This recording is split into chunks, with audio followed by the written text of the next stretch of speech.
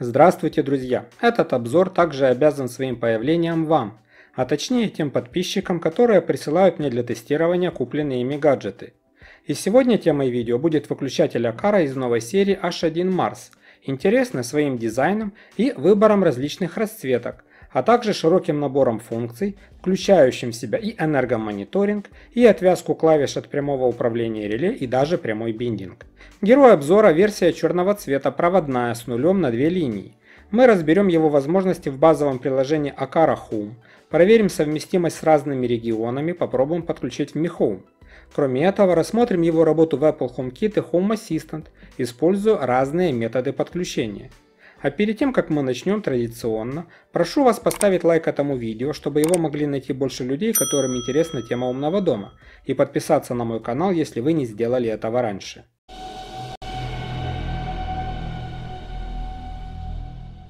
Модель Akara H1 Mars. Тип устройства ZigBee выключатель с нулем на две клавиши. Интерфейс ZigBee 3.0. Максимальная мощность нагрузки 2200 Вт, общая по входу. Ток не более 10 А. Дополнительные опции – отвязка клавиш от реле, энергомониторинг, память состояния, возможность прямого управления ZigBee устройствами. Базовое приложение Akara Home регион материковый Китай. Поддержка Apple HomeKit Home Assistant. Размер 86 на 85,5 на 43,6 мм. Рабочая среда, температура от 0 до 40 градусов Цельсия, влажность от 0 до 95%. Поставляется устройство в белой коробке с синими надписями и иероглифами, стандартное для Акара оформление под китайский рынок. Только вместо изображения выключателя тут сделали прозрачное окошко, что в общем-то правильно, так как эта линейка выпускается в шести разных цветах. Сзади указаны краткие технические параметры, о них я уже сказал. Тут, в отличие от глобальных версий, тоже много иероглифов. В комплекте поставки, кроме выключателя, инструкция тоже на китайском и крепеж для установки в подрозетник 2 винта. Большую часть почти квадратной поверхности занимают клавиши. В линейке есть версии на 1, 2 и 3 линии управления, а также беспроводные версии на 1 и 2 клавиши. Светодиоды находятся в тонком промежутке между клавишами и верхней панелью с названием бренда. Сзади 4 винтовых контакта, соответственно фаза и 0, а также две выходные фазы на нагрузку. Версии выключателей с нулевой линии могут работать независимо от того, подключена к ним нагрузка или нет. Один из ключевых моментов – установка в круглый подрозетник невозможна без его доработки. Тут есть два варианта – замена на квадратный или немного его распилить, чтобы влез задник выключателя, а сам выключатель монтировать напрямую к стене, используя угловые отверстия на рамке.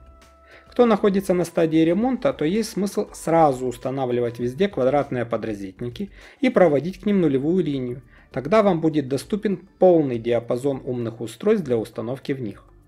Перед монтажом необходимо снять переднюю панель с клавишами. В отличие от версии Akara D1, E1, тут снимаются не отдельно клавиши, а весь блок, как у H1 Pro, H1EU или S1. Это позволяет монтировать выключатели этих серий в рамки. Собираю тестовый стенд, который состоит из пары соединенных вместе квадратных подрозетников. При подключении фазы и нуля проверяйте, чтобы все было подключено правильно. Реле должно разрывать именно фазу. Для подключения нагрузки я на первую линию выключателя подключил розетку. Фазовый провод на выход L1 нулевой общий от сети. Закрепляем выключатель при помощи винтов, которые через боковые отверстия устанавливаются и завинчиваются в крепление подрозетника. С квадратным 86 на 86 мм никаких проблем нет, все подходит идеально. Готовый тестовый стенд. Левая клавиша выключателя теперь управляет подачей питания на розетку. Сначала в качестве нагрузки возьму обычную энергосберегающую лампочку, но в ходе тестирования она будет не единственной. Режим сопряжения включается удержанием правой клавиши, пока светодиоды над ними не начнут мигать синим цветом. Логическую часть начнем с родного приложения Akara Home. Как видите, у меня установлен регион материковый Китай. В качестве шлюза тут Akara M2. В списке устройств справа сверху открываем меню добавления новых аксессуаров поиске нахожу Akara H1M, хотя на самом деле какое устройство выбрать значения не имеет, главное чтобы ZigBee. В любом случае это включает на шлюзе режим добавления новых устройств, а разница только в том, что приложение покажет, как включить сопряжение на выбранном устройстве. После подключения запустится небольшой мастер настройки. Их, кстати, можно будет в любой момент поменять и из плагина. Каждая клавиша с точки зрения системы – это отдельно взятый выключатель, для которого настраивается внешний вид, имя, выбирается тип управляемой нагрузки. С точки зрения функциональности тут все одинаково, просто меняется тип устройства в приложении. Выключатель появился в общем списке устройств. Большую часть основного окна плагина выключателя занимают изображения клавиш, в этой версии их две. На них отображается, чем именно они управляют. Чуть ниже панель энергомониторинга, работает быстро, данные появляются в течение нескольких секунд. В меню настроек большая часть опций стандартная, такие как название, локация, версия прошивки и так далее.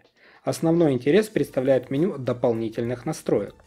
Тут имеется опция памяти состояния, то есть после возобновления питания устройство будет переключаться в тот статус, в котором было раньше – это очень важно, особенно при управлении умными светильниками, которым постоянно надо питание. Есть опция отключения светодиода в ночное время. Эксклюзивная для выключателей Акара возможность отключения клавиш от управления реле, называется переключение в беспроводной режим. Это обязательное условие, например, для работы с умными светильниками, когда питание на них идет постоянно, а управление по событию нажатия на кнопку. И еще одно меню такое мне раньше не попадалось. Называется настройки нагрузки, для каждого реле по отдельности, и пока это бета-версия. Можно выбрать один из трех режимов. Обычный, стандартный для выключателей, замыкание и размыкание реле, тут все понятно. Интеллектуальный, тут открывается меню выбора устройств и скоро мы подробнее разберемся с ним. И импульсный, с возможностью установки задержки от 300 до 2000 миллисекунд. Давайте проверим как он работает, я поставил значение 500 полсекунды. Вот как он работает. Питание подается всегда. При нажатии на клавишу оно отключается на заданный интервал времени и включается снова. Вернемся к второй опции настроек выбор устройства. Я решил проверить одно возникшее у меня подозрение, для чего подключил систему ZigBee, это важно, лампочку. Что не менее важно к тому же самому шлюзу, хотя у меня в Akara Home Китай он только один. Подключил я ее вместо энергосберегающей лампочки на первую линию этого же самого выключателя. Теперь в списке устройств появилась и она. Выбираем. После этого приложение выводит сообщение о том, что контролируемая лампочка должна быть подключена к той же клавише и на тот же самый шлюз, что и выключатель. Проверяем. Клавиша теперь управляет лампочкой. Реле при этом не переключается.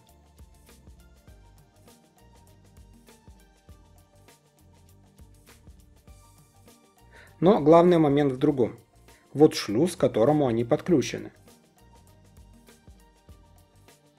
Но управление продолжает работать. Реле выключателя не задействовано, все на уровне логики. То есть это режим прямого биндинга между устройствами.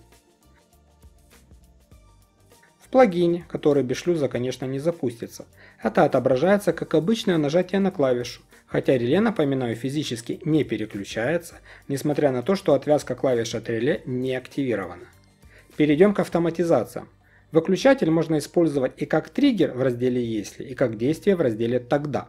В первом есть различные варианты для использования как входящего события, включения-выключения правого или левого канала, так и дополнительного условия, например, обнаружено движение, когда правый или левый канал включен или выключен. Есть чисто логические события, например, для использования в режиме отвязки клавиш от реле. Тут только одиночное нажатие на правую, левую и обе клавиши вместе.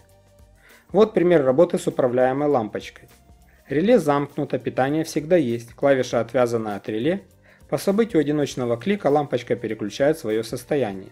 Такая автоматизация работает локально. Хотя ее работа зависит от шлюза, автоматизация позволяет устанавливать дополнительные условия типа яркости и цветовой температуры.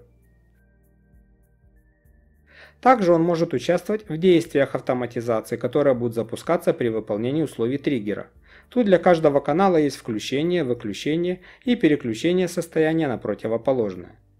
Проверим, работает ли выключатель в Акара Home регион Европа. Это еще один часто задаваемый вопрос, так как много пользователей имеют глобальное устройство, работающее в этом регионе. У меня тут подключен отдельный шлюз Акара E1. Поиск по модели H1 выдает только 4 модели – но, как я и говорил, для шлюза не имеет значения, что тут выбирать. В режим подключения новых устройств он переключается в любом случае. Тем не менее, данных о этом выключателе на европейских серверах нет. Поэтому, хоть и физический шлюз видит это устройство, логически он с ним работать не может, поэтому выдает ошибку подключения. Проверим работу в Apple HomeKit, в котором мой шлюз Akara M2 подключен в режиме моста. Соответственно, это позволяет системе видеть подключенное к шлюзу устройство. Правда, встроенным в шлюз контроллером, который эмулирует пульты, управлять отсюда нельзя. Вот устройство, которое подключено сейчас к шлюзу. Лампочка Акара, с которой мы экспериментировали, и герой обзора. По умолчанию он пробрасывается одной общей плиткой. При нажатии на нее открывается окно, в котором каждым из реле можно управлять по отдельности. Мне кажется, что удобнее будет включить режим на отдельных плитках. Тогда каждый канал будет в виде отдельного переключателя на главном экране. Что касается лампочки Акара, тут стандартное управление. Включить-выключить, яркость и цветовая температура от теплого желтого до холодного белого. Предполагаю, что будут спрашивать и про Home, поэтому проверю и тут. Использую регион Китай, в котором больше всего поддерживаемых устройств, в качестве шлюза Xiaomi Gateway 3. В списке устройств тут тоже нет варианта выбора Akara H1, поэтому беру первый попавшийся выключатель, сути это не меняет. Однако ситуация тут аналогична европейскому региону в Akara Home.